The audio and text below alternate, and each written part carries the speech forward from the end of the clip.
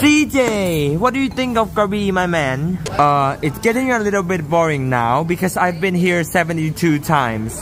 And this time it doesn't count because you kidnapped me here. Oh no no no no no no no no no no don't misunderstand me. I didn't mean to kidnap you. I just want you to come have fun with us.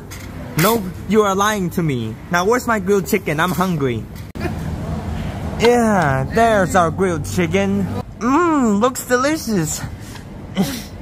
And our sticky rice. Yeah.